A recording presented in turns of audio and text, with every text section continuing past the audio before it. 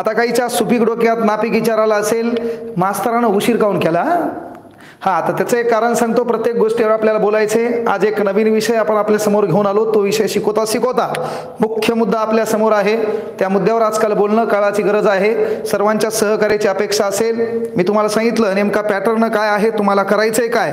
आणि जर असेच करत गेले तर आपला कार्यक्रम बेकार आहे. तू तयारी किती दिवस केली कुठं केली काय केली याला कोणीही विचारणार नाही. कारण सध्या बाळा तुला कळलं की हे दळभद्री शासन व्यवस्था आहे? या शासन व्यवस्थेच्या विरोधात तुला बोलल्याशिवाय कुठलाही पर्याय नाही. आणि म्हणून मी माझ्या जिल्ह्यामध्ये जे नियोजन करायलो ते तुम्हाला सांगणं काळाची गरज आहे. याच उद्देशानं पहिल्यांदा मी समोर आलोय. चला गुड इव्हनिंग सर्वांना. हां गुड इव्हनिंग चला ओके सर्वांना गुड इव्हनिंग चला काही ताण घेऊ नका. मात्र एक मुद्दा आहे त्या मुद्द्यावर आपल्याला बोलणं काळाची गरज आहे. पहा विषय तर आपण घेणार आहोत. तो विषय घेण्याच्या अगोदर पहिला एक मुद्दा होता काल परवा तुम्हाला झालं कळालं बाबा काय मुद्दा होता? तर मुद्दा पाहिला आपण गोरगरिबांच्या प्रश्नांना तिलांजली देण्याचं काम अलीकडे या सरकारनं केले आणि म्हणून ही तिलांजली देण्याचं काम ज्या सरकारनं केलंय त्याच्याबद्दल बोलणं काळाची गरज आहे. कारण आने वाली पिढी सवाल करना सीखे किसी के पीछे हात बांध कर चलना वो भी एक तरह की गुलामी होती आहे. आणि म्हणून जेव्हा जेव्हा आपल्यावर अत्याचार होतो त्या अत्याचाराच्या विरोधात आपण नाही बोललं तर दुसरं कोण बोलणार हा प्रश्न निर्माण होतो? म्हणून आवर्जून सांगत आहे नेहमी की तुम्हाला रस्त्यावर आल्याशिवाय पर्याय नाही. आणि म्हणून परभणी जिल्ह्यामध्ये काय नियोजन आहे हे मी नंतर सांगणार आहे. मात्र एक विषय तुमच्यासमोर घेऊन आलो त्या विषयाचा अभ्यास करायचा आहे. बरोबर आहे? हा सरकारचा जाहीर निषेध ही तर गोष्ट महत्वाची आहे कारण आपल्या देशात चाललंय काय? काल परवा मॅच होता. आणि मी तुम्हाला सांगितलं बाबा परवा दिवशी आपल्या भारताचा एकवीस वर्षाचा एक जवान मृत्युमुखी पडला. तो शहीद झाला. प्रत्येकाच्या स्टेटसवर महत्वाची गोष्ट लोकांनी त्याचं स्टेटस ठेवलं. दोन दिवसात आपण दुःख विसरून गेलो आणि आपल्याला प्रश्न पडला भारत पाकिस्तान मॅचचा. म्हणजे पुन्हा मॅचवर बोललं तर मॅच प्रेमी काही लोक मला शिवा देतील पण लक्षात घ्या आपल्या भारत पाकिस्तानचा मॅच चालत असताना पाकिस्तान जिंकल्याच्या नंतर या देशातले काही दळभद्री महत्वाची गोष्ट फटाकडे फोडून आनंद उत्सव साजरा करत असतील तर या मूर्खांना सांगणं गरजेचं आहे की ज्या ज्या मातीमध्ये आपला जन्म झालाय त्या मातीशी जागणं तुमचं कर्तव्य आहे. आणि म्हणून कुठल्याही समाजामध्ये कुठल्या धर्मामध्ये पाच दहा लोक दलिंदर असतात त्यामुळं पूर्ण धर्म पूर्ण जात महत्वाची गोष्ट नावाने खराब होते. म्हणून आजकाल काळ बदलण्याची गरज आहे. काल परभणीमध्ये मॅच झाला काही जणांनी इथे बी फटाकडे फोडले. जिंकलंय कोण माहीत नाही हारलंय कोण माहीत नाही. मला क्रिकेट प्रेमी आहे. सुधारणा काळाची गरज आहे. आपण कोणत्या देशात राहतो? ही सर्वात महत्वाची गोष्ट आहे. म्हणून मी वारंवार सांगितलं की सध्या या देशाला गरज कोणाची आहे? जो जवान मरण पावला होता त्याचं स्टेटस तुम्ही जे ठेवलं होतं ते स्टेटस स्वतःच्या हृदयात तेवत ठेवण्याची गरज होती. ते कोणाला नाही आठवलं. काल परवा तुमची आरोग्य सेवकची परीक्षा झाली तेव्हा रस्त्यावर यायचे मर्द आहेत. हे दाखवायला कोणाला नाही आठवलं? विसरून गेले की नाही काल? कारण आपल्याला सवय काय लागली? क्षणिक सुख. क्षणिक सुखापरता मी उड्या मारणार मह्यावर संकट आल्यावर मला ताण येणार. त्यामुळे एक गोष्ट आवर्जून लक्षात घ्या सत्तावीस तारखेला आम्ही परभणी जिल्ह्यामध्ये मोर्चा ठेवला आहे ठिया आंदोलन. कारण तुम्हाला वारंवार सांगायलो जोपर्यंत तुमच्यावर आलेल्या संकटासंबंधी तुम्ही रस्त्यावर येणार नाहीत तोपर्यंत तुमच्या प्रश्नांना लक्षात घ्या न्याय मिळणार नाही. इच्छा तुमची आहे कर्तव्य तुमचं आहे त्याच्याशिवाय पर्याय नाही हा?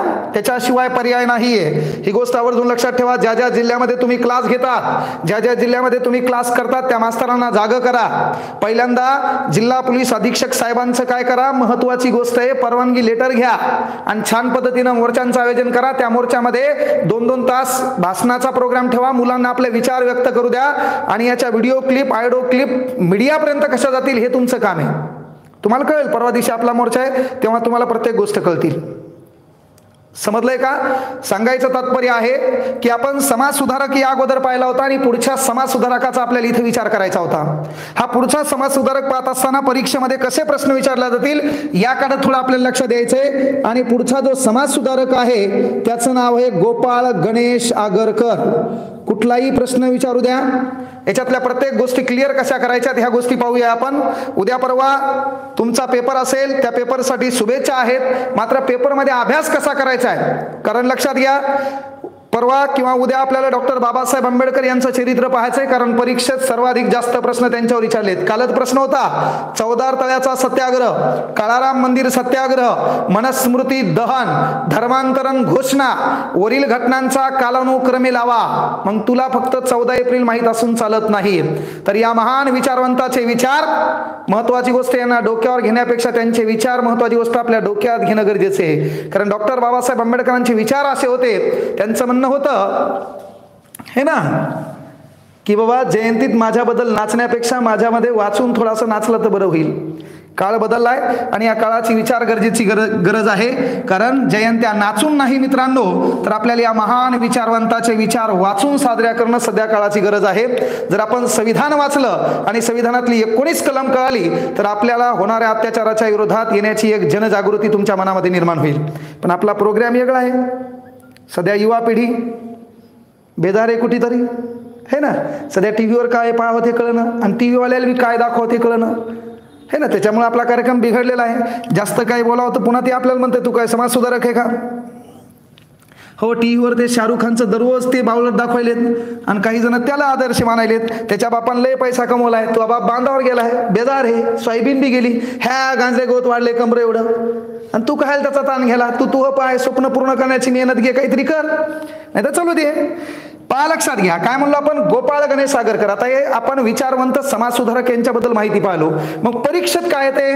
गोपाळ गणेश सागरकर आहे ना पहिल्यांदा तुम्हाला हे माहीत पाहिजे. एक डायग्राम पहिल्यांदा एका डायग्राममध्ये कॅरेक्टर नंतर डिटेलेशन जन्म. मग जन्म कधी आहे बाबा? चौदा जुलै. कधी आहे? चौदा जुलै. इसवी सन अठराशे छप्पन. मग जन्म कुठं झाला? जन्मगाव टेंबू. तालुका कुठे? कराड. मग जिल्हा कुठे? सातारा. सातारा जिल्ह्याला काय म्हणतात? शूरवीरांचा जिल्हा. काय म्हणतात? शूरवीरांचा जिल्हा. आता पा जन्म. मग यांचा मृत्यू कधी आहे? सतरा जून. मग मृत्यू कधी आहे? अठराशे पंच्याण्णव. मृत्यू कोण्या ठिकाणी? पुणे जिल्ह्यात. मग यांचं तुम्हाला विचारलं बाबा आयुष्यमान कालावधी किती आहे? तर तुमचं उत्तर एकोणचाळीस वर्ष. किती वर्ष एकोणचाळीस? यांच्या आईचं नाव आईचं नाव सरस्वतीबाई बायकोचं नाव अंबुताई फडके. अंबुताई यांचं टोपण नाव यशोदा.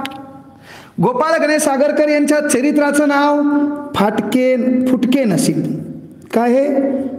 फुटके नसीब. माणसाच्या डोक्यावर केस नसले तरी चालते मात्र माणूस गेलेली केस नसावा असं लोक म्हणतात हा? यांचं चरित्र काय होतं? फुटके नसीब. काय चरित्राचं नाव? फुटके नसीब. काहीला दिसत नसेल हा? तर पहिले ऐकायचं काम करा. नंतर तुम्हाला प्रत्येक गोष्टी क्लिअर दिसणार आहेत भाऊ हा? आपल्या इकडे लय समस्या आहेत हो. काय होतं? फुटके नसीब. पा लक्षात घ्या. प्रत्येक गोष्टी आपण पाहायला होत आता फुटके नसीब यांचं काय आहे? चरित्राचं नाव आत्मचरित्राचं नाव. यांच्या बायकोचं नाव अंबुताई फडके. यांचा आयुष्यमान कालावधी एकोणचाळीस वर्ष. आता यांच्यावर प्रभाव. माणसाच्या जीवनात प्रत्येकाचा कोणानं कोणाचा प्रभाव असतो. मग प्रभाव कोणाचा? John Stuart Mill. कोणाचा प्रभाव? जॉन स्टुअर्ट मिल यांच्या सब्जेक्शन ऑफ वुमन कोणत्या ग्रंथाचा? सब्जेक्शन ऑफ वुमन आणि लिबरेटरी नावाच्या ग्रंथाच्या जॉन स्टिअर्ट मिल यांच्या पुस्तकाचा प्रभाव गोपाळ गणेश आगरकरांच्या विचारावर होता. दुसरा प्रभाव हार्बार्ट पेन्सर. हार्बार्ट पेन्सर काही जणांना डीएडला ऐकलं असेल भाऊ? हर्बार्ट पेन्सर. मग यांच्या सोशलॉजी आणि इथिक्स या ग्रंथाच्या विचारांचा प्रभाव गोपाळ गणेश आगरकरांवर होता. याच्यानंतर महत्वाची गोष्ट विष्णू शास्त्री चिपळूणकर यांच्या निबंधमालेचा देखील यांच्या विचारांवर प्रभाव होता. मग ही झाली बेसिक माहिती. आता जाणार आपण डिटेल ले इंटरेस्टिंग कॅरेक्टर आहे काही ताण घेऊ नका. छान पद्धतीने क्लिअर करूया. तू पण गावात काहीतरी कर तू गावाचा बुगा करू नको. हे ना? त्या पण मेन गोष्टी आहेत. नाही तर तूच गावाचा धिंगाणा करायला आहे. तुला काय बोलाव? ओके आता लक्षात घ्या. आता गोपाळ गणेश सागरकर यांचा पहिल्यांदा जन्म विचारला. टेंबू तालुका कराड जिल्हा सातारा या ठिकाणी यांचा जन्म झालाय. जन्म झालाय चौदा जुलै या तारखेला. लक्षात घ्या आता जन्म झाल्यावर अठराशे त्र्याहत्तर पर्यंत यांचं प्राथमिक शिक्षण पार पडलं कराड या ठिकाणी. कुठं पार पडलं? कराड या ठिकाणी. कराडमध्ये शिक्षण कुठं पार पडलं? मामा यांच्याकडे. पा. दामोपंत. हे त्यांच्या मामाचं नाव आहे. यांच्याकडे त्यांचं शिक्षण पार पडलं. दामोपंत भागवत त्यांच्या मामाचं नाव. इथं ते महत्वाची गोष्ट शिक्षण पार पडलं. आता या ठिकाणी शिक्षण पार पडलं सर्व गोष्टी सुरळीत चालल्या. आणि या ठिकाणी अठराशे पंच्याहत्तरला लक्षात घ्या इथं मॅट्रिक परीक्षेचं त्यांनी शिक्षण घेतलं. मॅट्रिक परीक्षेचं शिक्षण घेत असताना या ठिकाणी घटना काय घडली? शिक्षण चालू आहे. मॅट्रिक शिक्षण चालू असताना या ठिकाणी वऱ्हाड समाचार. या वर्तपत्रामधून ते लेख लिहायचे आणि या लेखाच्या बदल्यात त्यांना पाच रुपये मिळायचे. काय मिळायचे? पाच रुपये त्यांना मिळायचे. सर्व संकल्पना छान चालू होत्या. मग झालं काय?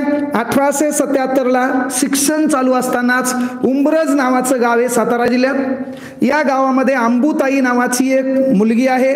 या अंबुताई सोबत लक्षात घ्या अंबुताई फडके यांच्यासोबत त्यांचा विवाह पार पडला. आता विवाह पार पडल्यावर विवाहाच्या नंतर त्यांनी नाव यशोदा ठेवलं. हे त्यांनी लाडानं दिलेलं नाव आहे. काय नाव ठेवलं? यशोदा. सर्व गोष्टी समजायला सर्वांना? याच टायमाला काही जण फोन करायलेत पहा हे मरायला पाहिजे रे आपाप. याच्याबद्दल काय बोला हे ना? आता विवाह पार पडला सर्व गोष्टी घडल्या. आणि याच कालावधीत लक्षात घ्या अठराशे शहात्तर.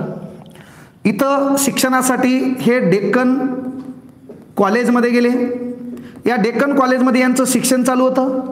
शिक्षणासाठी यांनी प्रबंध सादर केले. प्रबंध कोणता केला? एकत्र कुटुंब पद्धती. हा प्रबंध त्यांनी सादर केला. एकत्र कुटुंब पद्धती प्रबंध सादर केला. हा प्रबंध सादर करत असताना डेक्कन कॉलेजमध्ये त्यांना एज्युकेशनसाठी ज्या माणसानं मदत केली त्या शिक्षकाचं नाव होतं केरू नाना छत्रे. हे आदर्श शिक्षक ज्यांनी गोपाळ गणेश सागरकरांना शिक्षणासाठी मदत केली. आता जरासं आपण शिक्षकाबद्दल बोलूया. ग्रामीण भागामध्ये दोन मे दोन हजार दहाला महाराष्ट्र सरकारनं टीईटी घेतली. टीईटी मार्फत परीक्षा उत्तीर्ण होणारे अनेक शिक्षण शिक्षक ग्रामीण भागात पोहोचले. ग्रामीण भागात पोहोचल्यावर या शिक्षकांचं काम होतं की आपण टॅलेंटेड आहोत. आपण टीईटी एवढी महान परीक्षा पास झाली. सीईटी ती परीक्षा पास होऊन आपण शिक्षक झालो मग शिक्षक झाल्यावर याचं काम काय होतं? त्या गावात काहीतरी शिकवायचं. यानं काय केलं माहितीये का? गावातल्या राजकारणी लोकांसोबत हात मिळवणी केली. हेच त्या गावातल्या लोकांसोबत काय करायले? राणी गुल्ल्या बादशाह. हे ना नाईन्टी मारायले पंगाट फिरायले. आणि म्हणून सहाच्या नंतर तुम्ही जर कार्यक्रम पाहिला तर रोडवर धाब्यावर बसणाराची संख्या पाहून त्याला विचारा तू कोण हे? तेच सांगेल भाऊ ते कोण आहे काळ बदलला का नाही? म्हणजे धिंगाणा कोणा केला? आजकाल जिल्हा परिषदच्या शाळा बंद पडण्याचं कारण काय? गुणवत्तापूर्ण खरा शिक्षक जिल्हा परिषदेवर गेला. जे त्यात सीईटी लागलं नाही त्यानं दुकानं टाकले क्लास टाकले. पण क्लासमध्ये त्यानं वारंवार अभ्यास केला. सध्या पोरग क्लासकर जास्त आले का जिल्हा परिषदकडे? आणि जे जिल्हा परिषदेमध्ये शिकवायले त्याचं पोरग कान कॉन्व्हेंटला आहे. पहा त्याच्यानंतर ते अल्टरनेट करायला एक दिवस तू शाळेवर जा एक दिवस मी जातो. आपला बुगा केला या लोकांना जिल्हा परिषदच्या शाळेमध्ये आपल्या गावाच्या बाजूला कुठल्या तरी राजकारणी संस्थाची शाळा होती. त्या संस्था चालकानं ह्या पंधरा पंधरा वर्षे काही लोकांना फुकट घासायला लावली. त्याच्यानंतर त्याचा पगार चालू केला. त्याला हिंदी बोलता येत नव्हती इंग्रजीचा त्याचा संबंध नव्हता गणित त्याला येत नव्हतं. त्याचा काढला अप्रोल.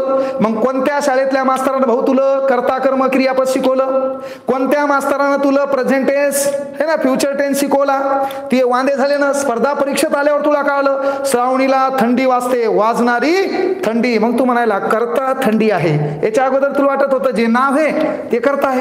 तुम्ही याला का नाही थाळी इथं म्हणजे हा कार्यक्रम आपला बिघडीला कोण दळभद्री या शिक्षण व्यवस्थेनं. कार्यक्रम आहे का नाही? म्हणजे रियालिटी गोष्ट आहे. यांच्याबद्दल बोललं तेवढं कमी आहे. है ना? पा नवीन सिस्टीम सुरू झाली. महाराष्ट्रात कोणती? फायनान्स फाईल चढवणे. हे ना? आला त्याच दिवशी नऊ हजार घेऊन जाय आणि महिना झाल्यावर दहा हजार देऊन टाक. घेणारे कोण आहेत पहा एकदा? हेच. शाळेवर जाणे लय मोठा पगार काहीच काम नाही. बिंदास्त बसायलाय परिपाठाला हजर नाही याला काही येईन लेकराला काही समजणं. बेंच टाकायला पुढे एक टेबल त्याच्यावर पाय ठेवायला पंगाट झोपी झालाय चारलं घरी येत आहे वांदे झाले की नाही आपले? हा काही शिक्षक आदर्श आहेत. जे पिढी घडवण्याचं काम करत असतील काहीतरी इतरांना शिकवत असतील आपलं लेकरू. आणि त्या शाळेत बसलेले लेकरू स्वतःचं लेकरू समजून शिकवत असेल त्या प्रत्येक शिक्षकांना आपला सलूट आहे. पण शिक्षण व्यवस्थेचा धंदा म्हणून या क्षेत्रामध्ये उतरणारे काही हरामखोर असतील तर ते मेलेले बरे. रियालिटी गोष्ट आहे. काळ बदलणं काळाची गरज आहे. तुमच्यावर या देशाचं महत्वाची गोष्ट भवितव्य अवलंबून आहे. लोक म्हणतात एक शिक्षक बिघडला तर पुढी पूर्ण पिढी बर्बाद होते.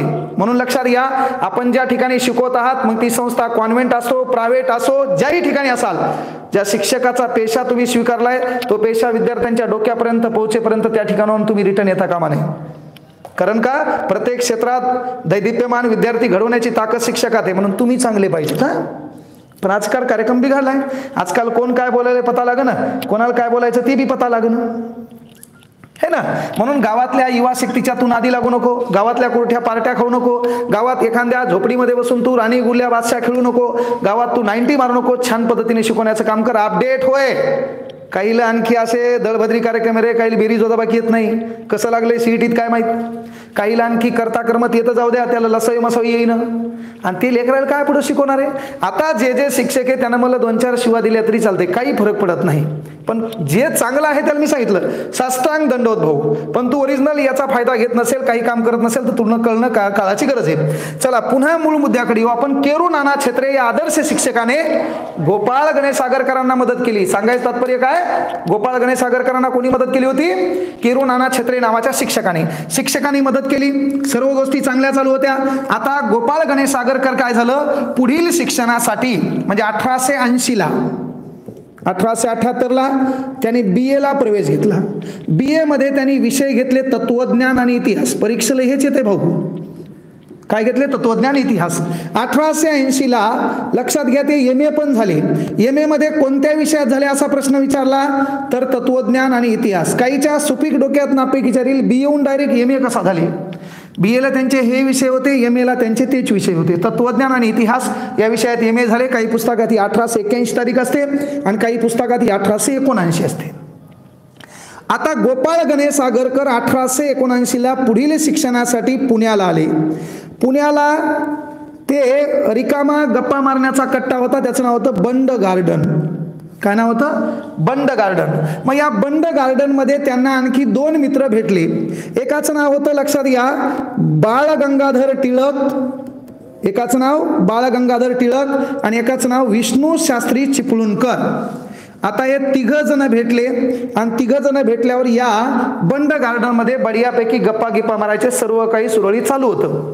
पण हे सुरळीत चालू असताना झालं काय? या तिघांना सामाजिक प्रेरणा करायची असे काही विचार मिळाले. मग मोरोबा दादापंत मोरोबा दादापंत यांच्या राहत्या घरी त्यांना एक रूम मिळाली. आणि त्या रूममध्ये याने ठरवलं आपण काहीतरी बदल करूया. आणि मग बदल करायच्यामुळे एक जानेवारी इसवी सन अठराशे ऐंशीला त्यांनी काय केलं? न्यू इंग्लिश स्कूलची स्थापना. आता न्यू इंग्लिश स्कूलची स्थापना केली आणि या इंग्लिश स्कूलमध्ये गोपाळ गणेश आगरकर शिक्षकाची भूमिका पार पाडू लागली. आता शिक्षक म्हणून काम करायले. कोण? गोपाळ गणेश आगरकर. सर्व काही सुरळीत चालू आहे. शिक्षक म्हणून काम चालू करायले. आता शिक्षक म्हणून काम करत असताना यायचे मित्र लोकमान्य टिळक. मग या लोकमान्य टिळकाने काय केलं बाबा? तर लोकमान्य टिळकाने लक्षात घ्या माधवराव नाम जोशी यांची बंद पडलेली एक प्रिंटिंग प्रेस होती. काय होती? प्रिंटिंग प्रेस आपल्या भाषेत काय भाऊ? झेरॉक्स मशीन आता ही प्रिंटिंग प्रेस कोणाची आहे? माधवराव वामन जोशी यांची. मग ही माधवराव वामन जोशी यांची प्रिंटिंग प्रेस विकत घेतली लोकमान्य टिळकांनी. लोकमान्य यांना लोकमान्य ही पदवी एकोणीसशे सतराच्या बेळगाव अधिवेशनामध्ये मिळाली. आता पहा लोकमान्य टिळकांनी या प्रिंटिंग प्रेसचं नवीन नाव केलं आर्यभूषण. काय नाव केलं? आर्यभूषण. म्हणजे लक्षात घ्या डॉक्टर बाबासाहेब आंबेडकर यांच्या प्रिंटिंग प्रेसचं नाव आहे भारत भूषण. तर लोकमान्य टिळक यांच्या प्रिंटिंग प्रेसचं नाव आहे आर्यभूषण. काय नाव आहे? आर्यभूषण. आता आर्यभूषण ही प्रिंटिंग प्रेस काम चालू झालं.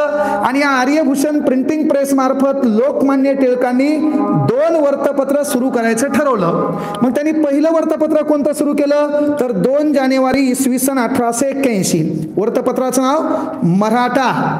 मराठा मराठा वर्तपत्राची लिखाण भाषा इंग्रजी.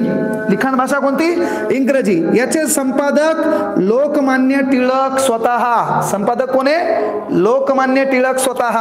आता दुसरं वर्तपत्र कोणतं? केसरी. मग केसरी वर्तपत्राची सुरुवात कधी? चार जानेवारी इसवी सन अठराशे एक्क्याऐंशी. केसरी वर्तपत्राची लिखाण भाषा कोणती? मराठी. आणि संपादक कोण? गोपाळ गणेश सागरकर आता दोन वर्तपत्र सुरू झालेत. एकाच नाव मराठा एकाच नाव केसरी. परीक्षेला प्रश्न मी सांगितलं कसे यायलेत? म्हणून मार्क चुकू नाही या उद्देशाने प्रत्येक गोष्टी आपण क्लिअर करायलो परीक्षेला काय येतं हे जर आपल्याला कळलं असतं तू एस झाला असता का नाही? म्हणून तुला कळावं परीक्षेला काय येतंय ते आपल्याला कळत नसते त्यामुळं प्रत्येकाने अभ्यास करणं काळाची गरज आहे हा. हा काही जण म्हणले स्टुडंट पॉवर दाखवायची. स्टुडंट पॉवर मी तुम्हाला सांगितलं सत्तावीस तारखेला आपल्या परभणी जिल्ह्यात मोर्चाला सुरुवात व्हायली. प्रत्येक जिल्ह्यामध्ये तुम्ही आयोजन करा. रस्त्यावर आल्याशिवाय तुम्हाला कुठलाही पर्याय नाही. स्टेटस ठेवून युट्यूबमध्ये बोलून कुठलाही बदल होणार नाही. त्यासाठी तुमचा लढा आहे. तो तुमच्यासाठी आहे. इथं कोणी स्टंटबाजी करून काही होऊ शकत नाही. त्यासाठी तुम्हाला रस्त्यावर यायचे. आणि आपल्यावर आलेल्या अत्याचारासंदर्भात आपणच न्याय मागवायचा असतो. आपणच रस्त्यावर यायचं असते. हे आपलं काम आहे भाऊ कितीक दिवस लोकायला म्हणतो? तुम लढो हम कपडे सांभाळतो काही बदल होणार नाही. त्यामुळे तू रस्त्यावर आहे लय लोक तुला सहकार्य करणार आहेत हा? लय लोक काय करणार आहेत? सहकार्य करणार आहेत. काही बोलायचं असेल हा तर आपण त्याच्यावर विचार करू. हा. काय हा काही शिकवताना चुकत असेल तर त्याबद्दल बोला. त्याच्यावर आपण विचार करूया. पा लक्षात घ्या. मग काय म्हणलो आपण? आता दोन वर्तपत्र सुरू झाले. एकाच नाव दोन जानेवारी अठराशे एक्याऐंशी एकाच नाव चार जानेवारी अठराशे एक्याऐंशी मराठा केसरी. याची लिखाण भाषा इंग्रजी याची लिखाण भाषा मराठी. हे चालू केलं लोकमान्य टिळकाणी यांचे संपादक. याचे संपादक गोपाळ गणेश आगरकर. सर्व काही छान चालू होतं. आता गोपाळ गणेश आगरकर हे मराठी या वर्तपत्र असणाऱ्या केसरीचे संपादक होते. आपल्या भारतात पहिलं वर्तपत्र Bengal the gazette James Hicky यांनी सुरू केलं होतं. वॉरन हेस्टिंगच्या कालावधीत ते शनिवारी प्रकाशित व्हायचं. त्यानं टीका केली होती वॉरन हेस्टिंगच्या बायकोवर. म्हणून ते वर्तपत्र बंद पडलं होतं. झालं काय? वर्तपत्र छान चालू होतं. वर्तपत्र छान चालू असताना इतिहासामध्ये एक प्रकरण घडलं. राब बर्वे. रावसाहेब बर्वे नावाचं एक प्रकरण घडलं. आता रावसाहेब बर्वे काय प्रकरण घडलं बाबा? तर पहा तुम्हाला माहीत असेल कोल्हापूर नावाचा एक जिल्हा आहे. हा कोल्हापूर जिल्हा पंचगंगा नावाच्या नदीकाठी आहे. इसवी सन सतराशे आठला कोल्हापूर संस्थानाची स्थापना झाली. आता पंचगंगा म्हणजे काय? कृष्णा नदीची उपनदी. कुंभी कासारी तुळसी भोगावती सरस्वती या पाच नद्यांच्या समुदायाला पंचगंगा म्हणतात. कोणती नदी? पंचगंगा. इच्छा नदीकाठी कोणतं शहर आहे? कोल्हापूर. मग या कोल्हापूर शहरामध्ये रावसाहेब बर्वे यांचं काय काम आहे? इतिहासात नाव आहे बर्वे प्रकरण. तर पहा इथं राजा होता चौथा शिवाजी. राजा कोण? चौथा शिवाजी. हा चौथा शिवाजी येडसर आहे असा याच्यावर आरोप केला त्याच्या प्रधानमंत्री रावसाहेब बर्वेनं. आता या चौथ्या शिवाजीच्या बायकोचं नाव आनंदीबाई. आनंदीबाई याच्या अगोदर आपण नाव ऐकलं. महर्षी कर्वे यांच्या चरित्रामध्ये महर्षी कर्वे यांची बायको आनंदीबाई. कुठं होती? शारदा सदन. शारदा सदनची स्थापना अकरा मार्च अठराशे एकोणनव्वद. कोण केली? पंडिता रमाबाईनं. त्या शारदा सदनमध्ये कोण होत्या? आनंदीबाई. कोणाची बहीण? नरहरपंत जोशीची. तिला नवीन नाव काय पडलं होतं? गोदूबाई. तिचं नवीन नाव काय? बाया कर्वे. काही विचारा. परीक्षेत कोणी कोणी कोणीकडे जावं लागतंय. त्यालाच तर म्हणतात अभ्यास. म्हणून आपला एकच पक्ष. फक्त अभ्यासावर लक्ष. नाही तर तू एकच पक्ष तो कोण कोणीकडे बी लक्ष?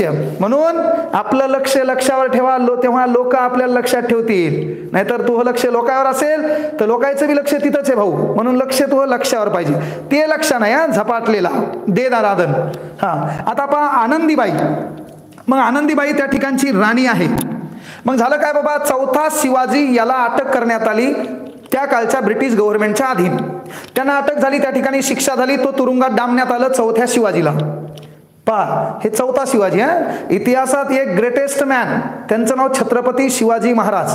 त्यांना शिवाजी म्हणण्या इतपत पण आपली लायकी नाही. छत्रपती शिवाजी महाराजच म्हणावा ती गोष्ट महत्वाची मात्र शर्ते किती झाली? रयतेच्या दुखाला पार नाही. एरे शिवबा पुन्हा जन्माला आता म्यानात तलवार उरली नाही.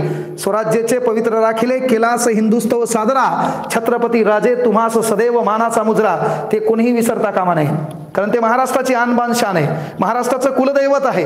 ते कोणी विसरता कामा नये. त्या छत्रपती शिवाजी महाराजाने आणि घटनाकार डॉक्टर बाबासाहेब आंबेडकरांनी आपल्यावर अधिकार दिलाय की जेव्हा जेव्हा तुमच्यावर अत्याचार होईल तेव्हा कुठंतरी आवाज उठवण्याचं शिका.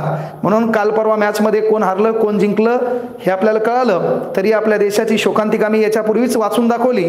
पण तत्पूर्वी आपल्यावर होणाऱ्या अत्याचाराच्या विरोधात आपल्याला रस्त्यावर येणं काळाची गरज आहे. मोर्चा काढा निवेदन द्या कायद्याचं द्या. मात्र सरकारला वारंवार ताण ताण द्या काहीतरी करायलेत म्हणून. नाहीतर निश्चित पडून राहिले त्याला कळेल हे मेलेले आहेत. युवा आहेत पण कसे आहेत? मर्दड आहे म्हणले. हे ना? आणि मर्दड काही बी केलं पेपर बी कॅन्सल केला पेपर नाही बी घेतला येईल कसं रटाळलं? हे काहीच करू शकत नाही हे त्याला एकदा कळालं ना? तर तुमचा कार्यक्रम बेकार होईल दलिंदराव बेकार होईल. कारण विदेशात काय होतंय? तरुण लोक सरकार चालवतात आणि म्हाताऱ्या लोकांना पेन्शन देतात. आपल्या इथं दळभद्री म्हातारे सरकार चालवतात आणि तरुणांना टेन्शन देतात. काळ बदलावं लागल. हे करायचं कोणा? त्याच्यामुळे तू तरुण हे.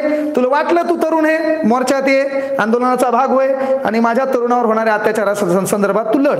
नाहीतर तू किती दिवस अभ्यास कर? नाईट पॅन्ट तीच पामा गोल्ड स्टार इनिस्टार सेगा night pant T shirt highlight marker वर्षानुवर्षे वाचत बस. शासन अशा दळभद्री कार्यक्रम केल्यावर तू लागत नाही. बेजार होऊ नको. म्हणून तुला त्याचा भाग व्हावा लागेल हा? ही सर्वात महत्वाची गोष्ट आहे ना तर चलू दे भाऊ हा? हा मास्तर भी तेच पोरग भी तेच तूने देखा मैंने देखा है ना? कभी कभी गम था याच्यात तुझी जिंदगी जाईल. म्हणून वेळ हे तुला ते करावंच लागेल. तुझ्यावर अत्याचार व्हायला लोक कशी येतील? तुला उड्या मारावं लागतील ना?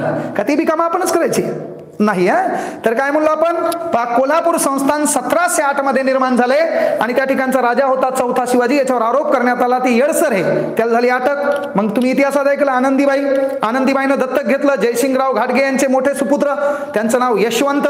कधी अठराशे चौऱ्याऐंशी ला अठराशे चौऱ्याण्णव ला त्यांचं नाव शाहू म्हणजे राज्यश्री शाहू महाराज आरक्षण सम्राट.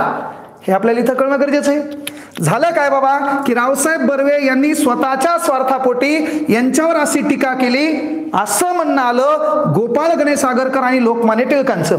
मग रावसाहेब बर्वेनं काय केलं? मुंबई उच्च न्यायालयात लोकमान्य टिळक आणि गोपाळ गणेश आगरकरावर केला मानहानीचा गुन्हा दाखल. मानहानीचा गुन्हा दाखल केल्यामुळे झालं काय? या दोघांना झाली शिक्षा. शिक्षा कधी झाली? अठरा जुलै इसवी सन अठराशे ब्याऐंशी. ते सव्वीस ऑक्टोबर इसवी सन अठराशे ब्याऐंशी. किती दिवसाची शिक्षा? एकशे एक दिवसाची शिक्षा. मग कुठं झाली? मुंबईच्या जवळ असणाऱ्या कारागृहात. आता याला शिक्षा झाली. शिक्षा झाल्यावर या शिक्षेत काय काम करायचं बाबा? तेव्हा काय मोबाईल नव्हता व्हॉट्सअप नव्हतं ट्विटर नव्हतं फेसबुक नव्हतं इंस्टाग्राम नव्हता. रील्स पाहायची सिस्टीम नव्हती. मग काय करायचं? मग गोपाळ गणेश सागरकरांनी इथे एक काम केलं. जामीन कोणी घेतला? लंग या दोघांनी यांचं वकीलपत्र दाखल केलं. तर यांच्या जामिनाला त्या काळी दहा हजार रुपये भारताचे शिक्षण सम्राट महात्मा ज्योतिबा फुले यांनी खर्च केले. यांना महात्मा ही पदवी राव बहादूर वडेकर यांनी मुंबईला इसवी सन अठराशे अठ्ठ्याऐंशी मध्ये दिली. तुम्हाला मी सांगितलं कोणी कोण कोणीकडने आपल्याला? इतिहासातून भूगोल भूगोलामधून विज्ञान विज्ञानामधून अर्थशास्त्र अर्थशास्त्रामधून राज्यघटना कोणीकडे न्या? कधी होईल? अभ्यास झाल्यावर. आणि अभ्यास आणि वाचन याच्यामध्ये फरक आहे. तू वाचलं एक नोव्हेंबर एकोणीसशे छप्पनच्या भाषा प्रांतवाद आयोगानुसार महाराष्ट्र भारतात निर्माण होणारं कितव? चौदावं राज्य हे झालं तो वाचन. पण तुझ्या डोक्यात प्रश्न पडला पहिलं राज्य कोणतं? आहे मग तू पाहायला गेला तुला उत्तर भेटला आंध्र प्रदेश. हे झाला तो अभ्यास. पण अभ्यास करण्याच्या अगोदर वाचन करणं गरजेचं असतं. कारण वाचन केलेली गोष्ट तुला आठवतेच. उदाहरणार्थ मी तुला म्हणलं आता या ठिकाणी है ना की छत्रपती शिवाजी महाराज तेव्हा तुझ्या डोळ्यासमोर एक चेहरा आला असेल. चेहऱ्यावर तेज आहे. लखलखती तलवार आहे. है ना? स्वराज्य स्थापनेचा हेतू आपल्या मेंदूमध्ये आहे. असा एक चेहरा समोर आलाय. तुला मी म्हणलं डॉक्टर बाबासाहेब आंबेडकर. एक मुद्रा आपल्यासमोर आली असेल. है ना? महत्वाची गोष्ट डोळ्यावर एक चष्मा आहे. हातामध्ये एक संविधान आहे. सर्वांना समानतेमध्ये जी काही विषमता विखुरलेली आहे या सर्वांना समान कसं आणता येईल हा एक संकल्पक विचार डोक्यामध्ये. तुला मी अलीकडल्या कालावधीत दुसरं म्हणलं. काय? अजय देवगण. तर तुला अजय देवगण आठवला असेल कुठंतरी पोलीसच्या युनिफॉर्ममध्ये. है ना? तू दर्द भरे असेल त्या हृदयाचे तार तुटले असतील तर तुला दिलवालेमधला अजय देवगण आठवेल सपना. है ना? तुला म्हणलं संजय दत्त हायटेड एक हिरो तुझ्या समोर आला असेल. तुला पिक्चर आठवला असेल. कोणता? खलनायक एक बूंद पाणी मेरी प्यास थी. तू मेलेला बरा. है ना? पण मी तुला म्हणलं नेपोलियन बोनापाठ आता तू यासमोर काहीच आलं नसेल. कारण याचा तू हा चेहराच पाहिला नाही ना. मग अभ्यासाचं कसं असतंय? याच्या अगोदर तू कुठं वाचला असेल तर तुला आठवतंयच की याच्याबद्दल मी असं असं वाचलं होतं. कधी? पहिले वाचलं असेल तर. तू वाचलत नसेल तुला आठवणार काहीच नाही. त्याच्यामुळं वाचाल तर वाचाल. पर्याय एकच आहे आपल्याकडं असो. हा काही ताण घेऊ नका. काही वाटलं तू आगावा मला आगाव बोलला हे माझ्या लक्षात राहिलं नाही. कॅरेक्टर नाही. पाच हजार दोनशे तारखा इतिहासात काही बोलता येते आपल्याला. ताण घेऊ नका. फक्त मेन काय तू जरासा सिरियस घे. हे मी चेकटॅन करणं गरजेचं आहे. कारण परीक्षा मला नाही द्यायची परीक्षा तुला द्यायची हा?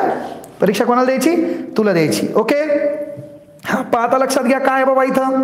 सव्वीस ऑक्टोबर या कालावधीत ही घटना घडली. फिरोज शाह मेहता जे पी तेलंग यांनी वकीलपत्र घेतलं. आणि महत्वाची गोष्ट आहे की काय झालं? दहा हजार रुपये महात्मा फुलेन दिले यांची जामीन झाली. सुटका झाली. आता सुटका झाल्यावर गोपाळ गणेश सागरकरांनी पुढं काय केलं? या केसरी वर्तपत्रातून त्यांनी पहिल्यांदा काय केलं? स्त्री दास्य इमोचन हा प्रबंध सादर केला. कोणता? स्त्री दास्य इमोचन हा प्रबंध त्यांनी साजरा केला. सर्व काही छान चालू होतं. आणि मग यांनी अठराशे चौऱ्याऐंशी कोणत्या तारखेला? चोवीस ऑक्टोबर. चोवीस ऑक्टोबर कोणता दिवस आहे? लगेच इकडे लक्षात ठेवायचं. इनो दिवस. Eno U N O United Nations of Organization. Not Eno. छे सेकंद मे गायब. ते नाही हा? काय म्हणलं आपण? United Nations of Organization. हे पाहायचं आपल्याला. मग पहा या इनो दिवसाची स्थापना आहे चोवीस ऑक्टोबर एकोणीसशे पंचाळीस. आपण काय पाहिलो? चोवीस ऑक्टोबर अठराशे चौऱ्याऐंशीला डेक्कन एज्युकेशन सोसायटीची स्थापना. डेक्कन एज्युकेशन सोसायटीची स्थापना कोण केली मग?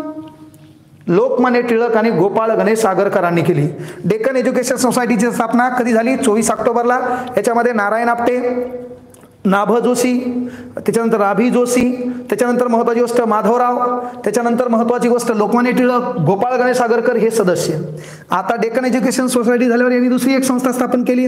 दोन जानेवारी इसवी सन अठराशे पंच्याऐंशी. काय केलं मग? तर पुणे प्रांताचे तात्कालिक गव्हर्नर फर्गुशन यांच्या नावावर त्यांनी फर्गुशन कॉलेजची स्थापना केली. गुन्ह्या गोविंदानं गोपाळ गणेश सागरकर आणि लोकमान्य टिळक छानपैकी दोस्ताना करून राहत होते. सर्व काही छान चालू होतं. फर्गुशन कॉलेजची स्थापना केली. फर्गुशन कॉलेजची स्थापना केल्यावर फर्गुशन कॉलेजचे पहिले प्राचार्य वामनराव सीताराम आपटे. वामन आपटे. असं म्हणलं तरी चालतंय वामनराव आपटे. पहिले प्राचार्य कोण? वामन सीताराम आपटे. आता हे प्राचार्य सर्व काही चालू झालं कॉलेज बिलेज चालू झालंय ह्या घटना घडल्या. आता तुम्हाला माहिती आहे दोन दोस्ताने असतील किती चांगलं असतील तर लोक त्यांच्यामध्ये भांडणं लावल्याचं काम करतात. मग आता काय झालं? लोकमान्य टिळक आणि गोपाळ गणेश सागरकर यांच्यात झाला वाद. लोकमान्यांना पहिल्याच आपण नाव दिले असंतोषाचे जनक. असंतोष म्हणजे रागाचे जनक. त्यांना हे कोण म्हटलं? व्हॅलेंटाईन चिरोलीचा. लोकमान्य टिळकांना असंतोषाचा जनक कोण म्हटलं? व्हॅलेंटाईन चिरोलीचा. काय म्हणले? अनरेस्ट फादर ऑफ नेशन काय म्हणले? अनरेस्ट फादर ऑफ नेशन मग पहा गोपाळ गणेश आगरकर. कोण? गोपाळ गणेश आगरकर लोकमान्य टिळकत यांच्यात वाद. मग वादाचं पहिलं कारण कोणतं? सामाजिक सुधारणा आणि दुसरं कारण राजकीय सुधारणा. मग सामाजिक सुधारणा आणि राजकीय सुधारणा यांच्यात काय? तर गोपाळ गणेश आगरकरांचं म्हणणं आलं पहिले आपण समाजातल्या विकृत प्रवृत्ती काय करू? हटून टाकू. तेव्हा या लोकांना साम्राज्य ही संकल्पना कळेल. तर लोकमान्य टिळकांचं म्हणणं होतं पहिले आपण काय करू यांना स्वातंत्र्य ही संकल्पना स्वराज्य ही संकल्पना करून देऊ नंतर सामाजिक विकास पाहू. दोघात पहिला वाद झाला. मग लोकमान्य टिळक पहिलेच रागे. ते म्हणले तुला मग चल चालता होय. झालं इथं वांदे. आता दुसरी गोष्ट. हे झाला पहिला वाद. मग दुसरा वाद कोणता बाबा? समंती वय विधेयक. समंती वय विधेयक. अठराशे चौऱ्याऐंशीला लॉर्ड रिपन याच्या कालावधीत समंती वय विधेयक सादर केलं होतं ब्रिटिश गव्हर्नमेंटनं लग्नाचं वय.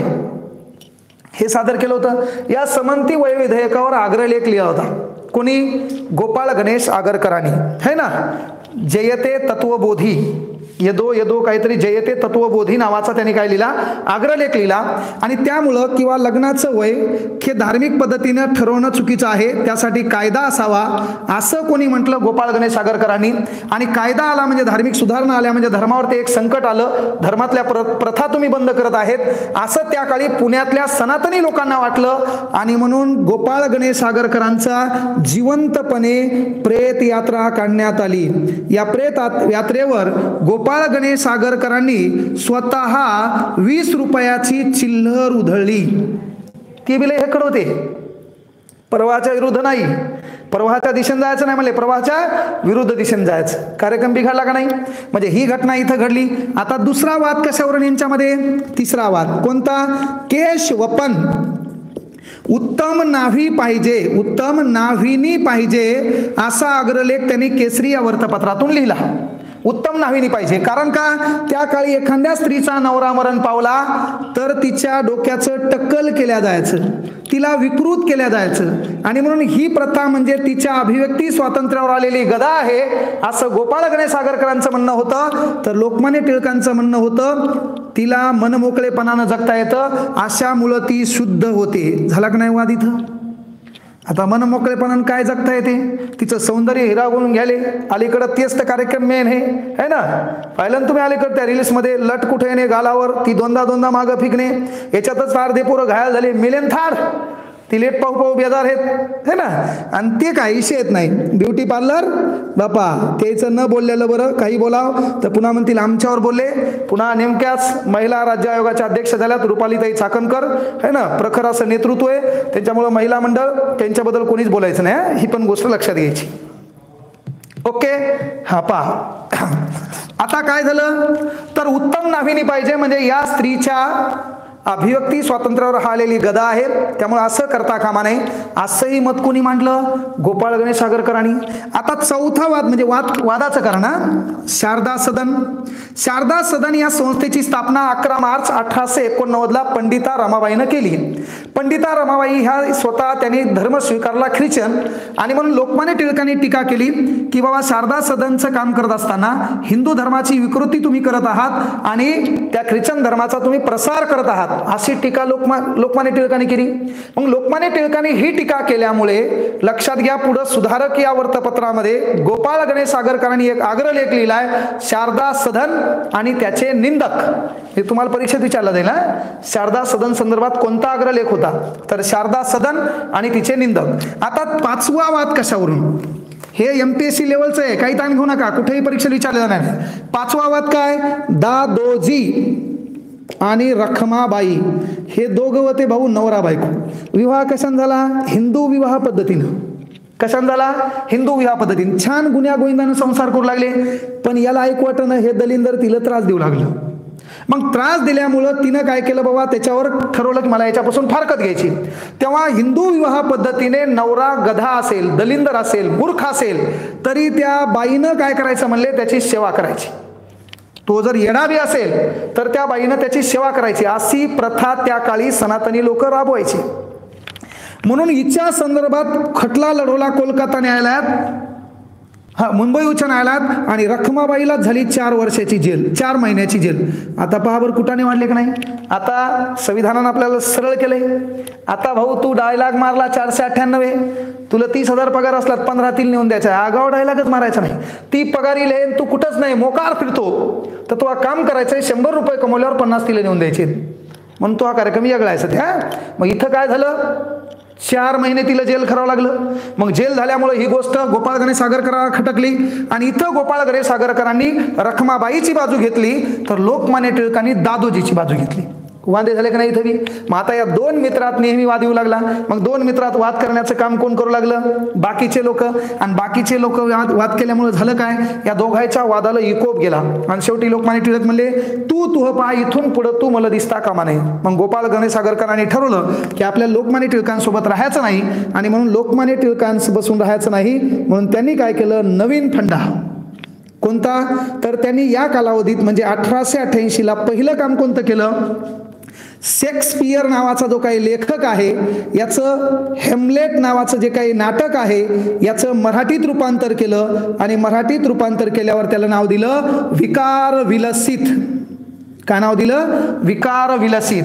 इथंच त्यांनी एक नवीन ग्रंथ लिहिला वाक्य मीमांसा. काय लिहिलं? वाक्य मीमांसा. आता सर्व काही छान चालू होतं. मग आता आपण केसरी या वर्तपत्राचा राजीनामा दिल्यामुळं आपलं स्वतःचं वर्तपत्र असावं असं गोपाळ गणेश सागरकरांना वाटलं. आणि गोपाळ गणेश सागरकरांनी पंधरा ऑक्टोबर अठराशे अठ्ठ्याऐंशीला दसऱ्याचा सण होता. या दसऱ्याच्या सणाच्या दिवशी स्वतःचं एक वर्तपत्र काढलं. त्याचं नाव सुधारक. याच्या दोन आवृत्ती काढल्या. एक मराठी आवृत्ती आणि एक इंग्रजी आवृत्ती. इंग्रजीचे संपादक गोपाळ कृष्ण गोखले म्हणजे महात्मा गांधी यांचे राजकीय गुरु गुरु आणि मराठी सुधारक वृत्तपत्राचे ते स्वतः संपादक. त्यांचं नाव गोपाळ गणेश आगरकर गोपाळ गणेश आगरकरांनी सुधारकमध्ये पहिला कोणता आग्रह लिहिला? असं जर विचारलं तर हिंदुस्थानास शय लागला. हिंदुस्थानास शय लागला. शय म्हणजे टीबी. आणि चोवीस मार्च हा दिवस जागतिक टीबी दिन म्हणून साजरा करतात. मी काय म्हणलं कोणी कोण कोणीकडे जाऊ? तू अभ्यासले परफेक्ट पाहिजे. परीक्षेला काय येईल हे सांगताच येत नाही. तुला डिटेल वाचावंच लागते हा? त्याला पर्याय नाही. बुवा काय झालं बाबा? हां म्हणजे अनावधानानं काही चुकल्या गोष्टी असतील तर मी तुम्हाला सांगितलं आज आपण जनरल बोललो. उद्या मोर्चाचं आयोजन आहे. परवा दिवशी दणदणीत आपण मोर्चा काढणार आहोत. कारण आपल्या मागण्या आपण नाही मान्य करायच्यात कोण करायच्या आपण आपल्यासाठी रस्त्यावर यायचे. विनंती आहे सर्वांना. चला काय म्हणलो मी? ही घटना घडली. आता वृत्तपत्र काढलं सर्व झालं. त्यांचं ते काम करू लागले. लोकमान्य टिळक त्यांचं ते काम करू लागले. आणि मग यांनी अठराशे नव्वदला डेक्कन एज्युकेशन सोसायटीचा पण राजीनामा दिला. कशाचा? डेक्कन एज्युकेशन सोसायटीचा पण राजीनामा दिला. अठराशे ब्याण्णवला लोकमान्य टिळक आणि गोपाळ गणेश सागरकर पुन्हा एकत्र आले. आता एकत्र आल्यावर अठराशे ब्याण्णवला त्यांना फर्गुशन कॉलेजचं प्राचार्य पद देण्यात आलं. फर्गुशन कॉलेजचे काय बनले ते? प्राचार्य. याच्या अगोदर कोण होते? वामन सीताराम आपटे. काही ठिकाणी सदाशिव शिवराम आपटे दिले पण वामन हे नाव पहिले बरोबर आहे हा? पा वामन नारायण आपटे असं काय दिले काही ठिकाणात. पण वामन आपटे आपटे नाव लक्षात ठेवा बापा. ओके? म्हणजे अठराशे ब्याण्णवला ही घटना घडली. अठराशे ब्याण्णवला ते फर्ग्युशन कॉलेजचे प्राचार्य बनले. आता ह्या गोष्टी घडल्यावर अठराशे त्र्याण्णवला मी तुम्हाला सांगितलं. काय झालं होतं? महर्षी कर्वे कुठं गेले? शारदा सदन. शारदा सदन कुठे? मुंबईला. कधी स्थापना आहे? अकरा मार्च. कोणत्या वर्षी? अठराशे एकोणनव्वद. इथं कोण होतं? विधवा युवा विद्यार्थिनी त्याच्यात कोण होती? आनंदीबाई तिचं वय काय होतं? तेवीस वर्ष लग्न होऊन तीनच महिने झालते नवरा मरण पावला होता. ती कोणाची बहीण? नरहर पंत जोशी. मग काय झालं? तर या ठिकाणी आपण पाहिलं ओझे. या व्यक्तीनं मंगलास्तिका म्हणल्या? तर राभी जोशी आणि महत्वाची गोष्ट आहे गोपाळ गणेश सागरकर या दोघांनी काय केलं? सह्या केल्या. मंगलास्तिका कुणा म्हणल्या? ओझे आणि. हे ना मंगलाष्टिका येत असतील तुम्हाला. छंद मंच महापुण्य राशी गंधास्तु पंतमे स्थूयम ओम मा सद्गमम तम सुमा ज्योतिर्गम मनुतम सहनागतु सौर्यम करबावहे तेजस्विनावधितमस्तु महाविदिशाय ओम पूर्णमदम पूर्णमदम लय काही आले आपल्याला. कोणाच्या लग्नाचा कार्यक्रम? आपण नक्कीच वाजवा पण पैसे पहिले पाठव. पहा. मग काय झालं? राभी जोशी. गोपाळ गणेश सागरकर राभी जोशी यांनी काय केलं? सह्या केल्या. सर्व कार्यक्रम झाला. हा कार्यक्रम झाल्यावर काय झालं? आता एक तारीख आली अठराशे पंच्याण्णव. चांगले लोक जास्त काळ राहत नाहीत. सतरा जून. अठराशे पंच्याण्णव वयाच्या एकोणचाळीसाव्या वर्षी दम्याचा त्यांना आजार झाला आणि या आजारामध्ये त्यांचा मृत्यू झाला. मग यांचे गादलेले आग्रलेख स्त्रियांनी जॉकेटे घातलीच पाहिजे. त्याच्यानंतर महत्वाची गोष्ट केसरी या वृत्तपत्रातून गादलेला आग्रलेख अति शहाणा त्याचा बैल रिकामा हे वाक्य कोणत्या ग्रंथातलं? तर त्यांचं गादलेलं पुस्तक गुलामगिरीचे राष्ट्र. काय आहे गुलामगिरीचे? राष्ट्र स्त्रियाने जॉकेटे घातलीच पाहिजे. स्त्री दास्य इमोचन एकत्र कुटुंब पद्धती. हिंदुस्थानास शे लागला. है ना? गोरे अपराधी आणि काळे न्यायाधीश. हे त्यांचे गाजलेले आग्रलेख तुम्हाला परीक्षेत विचारल्या जातात. काल का हे अग्रलेखही आपण लक्षात ठेवायचे आणि यानंतर महत्त्वपूर्ण गोष्टी की यांच्याबद्दल कोणते गौरव उद्गार काढले? तर पहिल्यांदा काढले वि स खांडेकर. वि स खांडेकर म्हणजे विष्णू सकाराम खांडेकर. यांनी यांच्याबद्दल गौरव उद्गार कोणते काढले? तर महत्वाची गोष्ट गोपाळ गणेश आग आगरकर आणि विष्णू शास्त्री चिपळूणकर हे मराठीतील काय आहेत म्हणले? तर दोन श्रेष्ठ निबंधकार आहेत. मराठीतील दोन का आहेत? श्रेष्ठ निबंधकार आहेत. तर विष्णू शास्त्री चिपळूणकर यांचं म्हणणं काय आहे? विष्णू शास्त्री चिपळूणकर यांचं म्हणणं आहे लोकमान्य टिळक आणि गोपाळ गणेश सागरकर हे मराठीतील काय आहेत? द्वंद्व समास. ज्या समासात दोन्ही बाजू महत्त्वाच्या असतात त्याला द्वंद्व म्हणतात. एक महत्त्वाचा एक कमी महत्त्वाचा पहिला कमी महत्त्वाचा दुसरा महत्त्वाचा दोन्ही महत्त्वाचे नाहीत. याच्यावर तर समास आहे. मग हे काय झालं? गोपाळ गणेश सागरकर यांच्या चरित्राबद्दल. परीक्षेत याच्या बाहेर काही विचारल्या जात नाही तरी वाटलं कधी कधी जर आड आली त्या ॲड पद्धतीने आपण पुन्हा याच्यात आणखी डिटेल किंवा विस्तृत पद्धतीनं घेण्याचा प्रयत्न करूया. ओके हां. पा सर्वात महत्त्वाची गोष्ट आहे. सर्वांनी मी सांगितलं बाबा हे जे काही मोर्चा असेल प्रत्येक गोष्टी असेल त्याबद्दल थोडं ॲग्रेसिव्ह व्हा. काही गोष्टी समजत नसतील अनावधानानं काही चुकलं तर मला ते निर्देशास आणून द्या. मात्र सर्वांना एकच विनंती आहे अभ्यास करा. उद्यापासून राईट टायमिंग सात वाजता आपला क्लास होईल. आहे ना? सर्वांनी त्या टायमिंगला जॉईन व्हायचे आणि मला जो विषय महत्त्वाचा वाटला तो विषय कळवत जायचे सर्वांनी चॅनल सबस्क्राईब करा बेल आयकॉन क्लिक करा. त्यानंतर महत्त्वाची गोष्ट छानशी कमेंट करत चला व्हिडिओ लाईक करत चला प्रत्येक मुलांना शेअर करत चला. वेळ आली तर उद्या सर्व मुलांच्या आग्रहास्तव नागपूर जिल्हा विशेष घेण्यास मी प्रयत्न करणार आहे. सर्वांच्या सहकार्याची अपेक्षा आपण थांबू या ठिकाणी. शुभरात्री. धन्यवाद. जय हिंद जय महाराष्ट्र.